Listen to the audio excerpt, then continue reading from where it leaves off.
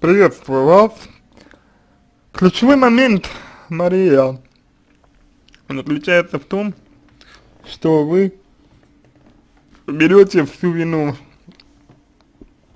за ту, ту ситуацию, которая произошла между вами, на себя, что является ошибкой, потому что семья это система, система выстраивает несколько элементов, несколько элементов, в данном случае вы и ваш муж, соответственно, за то, что между вами происходило, ответственны вы оба. Именно по той причине, что вы берете на себя всю ответственность за произошедшее, ваш муж, э, собственно, и обвиняет вас, потому что у него ответственности, в свою очередь, никакой. И здесь мы сталкиваемся с, во-первых, созависимым э, поведением и созависимыми отношениями, где вы находитесь в роли жертвы спасителя, мужчина находится в роли э, преследователя жертвы. Э, подробнее об этом вы можете почитать треугольника Карпмана, я полагаю, там, в принципе, все довольно, довольно доступно и понятно вам будет изложено.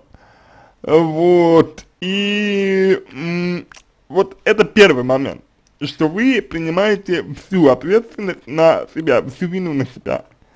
Здесь угадывается проблема личных границ, когда вы не отделяете себя от другого человека, и, соответственно, другой человек начинает вести себя так, как, как вы ему э, рекомендуете, по сути, как вы его соблазняете, а именно э, обижать и так далее, и так далее, и так далее. Вот. Хотя такое поведение абсолютно и полностью неприемлемо. Э, следующий момент, помимо ограничения ответственности и э, скажем так, э, выражение тех мотивов, которые э, лежат в основе такого вашего поведения, заключается в том, что вы хотите вернуть его э, прошлое отношение к себе. При этом считаете, что это самое прошлое отношение к себе можно вымолить, можно выпросить, можно как-то вырвать у него. На самом деле это не так, потому что отношение его э, к вам обусловлено ровным счетом вашим поведением и тем, как вы относитесь сами к себе. К себе. Иными словами, если относитесь к себе вот так, то есть берете на себя всю ответственность, то а, и муж будет относиться к вам так, как он относится, а именно плохо. Если хотите, чтобы э, отношения вернулись в русло, начинать нужно с себя, а именно в корректировании своего собственного поведения, с выравнивания своей собственной линии поведения э, с взятия на себя только вашей ответственности за то, что произошло, э, с передачей мужу той части ответственности, которая лежит на нем. Вот. То есть это его выбор, там, как-то реагировать и, обижа и обижаться на то, что вы ему сказали. Это его выбор, что он, будучи мужчиной, принимает ваши слова, как женщины, для себя всерьез. Хотя мужчина и женщина, они на то и разные, что э, женщина более эмоциональна, а мужчина более спокоен, более рационален, рационалистичен. И за счет этого мужчина и женщина друг, другу, друг друга взаимодополняют. А здесь получается, что эмоциональность вашего мужчины просто-напросто берет и отвечает зеркально, ну, тем самым он становится, по сути, женщиной, из-за чего вы и начинаете тех, технически ссориться. Почему я сказал технически ссориться? Потому что технически это означает просто вот как если бы мы под, микроскопом рассмотрели те процессы, которые происходят во время ссоры. Но технически, то есть объективно, это, естественно, не одна сторона. Помимо а, а, а, объективной стороны, существует еще и субъективная сторона, то есть сторона выбора. И вот здесь очень важно понять, почему, когда мужчина лежал в больнице, вы с ним ссорились. Ссоры были как по вашей, так, так и по его инициативе. Если его инициатива нас не интересует, то, то ваша инициатива ссор вполне себе э, интересна, потому что вы обращаетесь к нам за помощью. Вот и давайте поисследуем, какой вклад в эти ссоры и почему вы носили. Кроме того, обязательно изучите психологическую игру «Скандал», которая также подробно описана в интернете, чтобы понять, почему супруги и люди вообще ссорятся.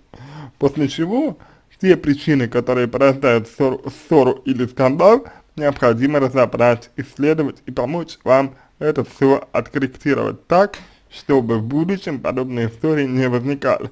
Далее, необходимо научиться э, конструктивным моделям общения, например, техники «я» сообщения, когда вы э, выражаете э, неким образом, особым образом, то, что вас волнует. Для того, чтобы эффективно это делать, желательно поверить в то, что вы говорите, если вы будете декларировать какие-то вещи, то, к сожалению, неуверенность в вашем голосе относительно того, что вы декларируете, будет воспринята партнером как, как возможность к вам не прислушаться. Только если партнер будет уверен в том, что у него нет выбора, кроме как прислушаться к вам, все это сработает. А значит, необходимо поработать с вашей самооценкой и вашей уверенностью в себе. Сомнения, в которых у меня возникло в тот момент, когда я прочитал, что вы хотите вернуть отношения мужа, интересно зачем, и, и что вы берете всю вину на себя. Это у нас, соответственно, подавленная агрессия, э, ваша агрессия, которую, э, которая связана с тем, что вы себя не дозащищаете в отношениях. Если уж совсем э, глубоко копать, то можно, можно предположить, повторюсь, только предположить, что у вас, что у вас некая садистическая позиция, то есть вы стремитесь к тому, что вас наказывали, ругали, так вы чувствуете себя, да, плохо, но, по крайней мере, привычно, спокойно. Ну, как иначе объяснить, что а, вы э, в ответ на откровенно деструктивное поведение своего мужа, в общем-то, по сути, терпите, по сути, хотите все вернуть, и по сути считаете, что он ведет себя по отношению к вам заслуженно. И теперь вы приготовились, очевидно, свою вину искупать. Ну вот, а теперь, когда мы это сказали, просто задайте себе вопрос. Если вы начинаете своими действиями, действиями искупать вину, какой смысл, какой резон мужчине, да и любому человеку что-то менять? Ведь человек, искупающий вину, человек виноватый лично передо мной, человек, делающий все для того, чтобы, это, чтобы чувство вины искупить, очень удобен, полезен, но вместе с тем абсолютно не ценен. Нельзя уважать человека, который во всем себя винит.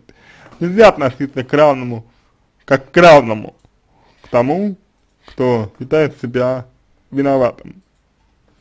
Ведь вы же именно таких отношений хотите, равных, ценностных. На этом все. Я надеюсь, что помог вам. Если вам понравился мой ответ, буду благодарен за его оценку в качестве лучшего. Я желаю вам всего самого, самого доброго, удачи, надеюсь, что ситуация разрешится